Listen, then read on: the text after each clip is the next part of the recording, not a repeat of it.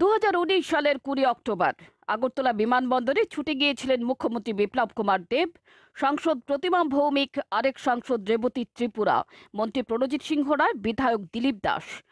আরও অনেকেই ছিলেন শাসক দলের নেতারা।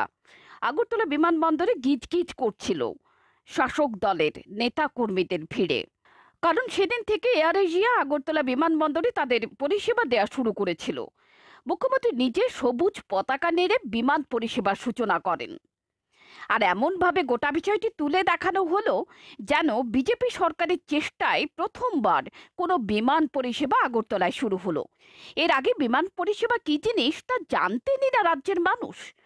বিমানকে সবুজ পতাকা নেড়ে যাত্রা করানো হয়েছিল।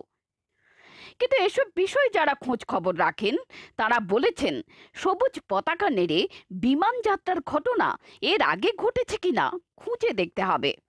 সাধারণত ফায়ার টেন্ডার থেকে জল ছিটিয়ে নতুন বিমান পরিষেবার সূচনা হয় বলে অনেকে জানিয়েছেন।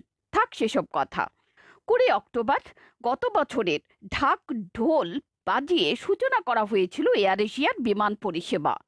পরের দিন প্রায় সব কাগজের প্রথম পাতায় ঢাউস ঢাউস সব ছবি আর খবর।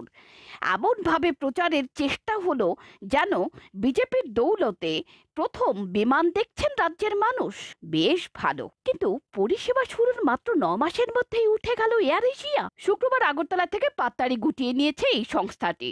সঙ্গে কাজ হারিয়েছেন রাজ্যের প্রায় চল্লিশ জন যুবক। অবশ্য এয়ার এশিয়ার বিমান তুলে নেবার বিষয় নিয়ে এখন আর কোনো কথা বলতে শোনা যাচ্ছে না রাজ্য সরকারকে। কথা নেই, সেদিন মঞ্চ আলো করে বসে যারা অনেক কথা বলেছিলেন, ভালো ভালো। মাত্র ন মাসেই উদ্বোধনের ছবি এমন ফিকে হয়ে গেল। পিওর রিপোর্ট, চ্যানেল দিন রাত